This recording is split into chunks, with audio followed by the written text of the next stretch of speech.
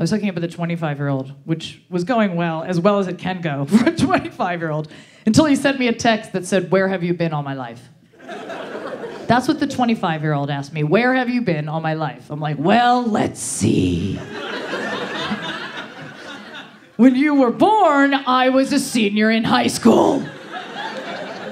Now send me a picture of your dick because that's what young guys do. Why does that happen? Why is that still a thing? Oh my God, when you're dating a young guy, you're always one text message away from a dick pic at any given moment. Like any moment. I don't understand. It's shocking to me because it's, it's almost like you guys are shocked that it's still there in the morning, that you have to take a picture of it and document it. You're laughing. You probably have a folder of dicks on your phone, don't you?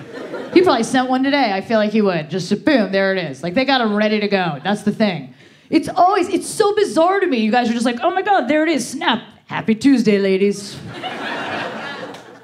It makes me think like, what did guys do before camera phones? Like, don't you think about that? Like, I imagine some guy in the 80s and 90s just staring at himself naked, like, yeah. fuck if she could see it now. well, she'd be right over, obviously. Quick, get the Polaroid and a stamp.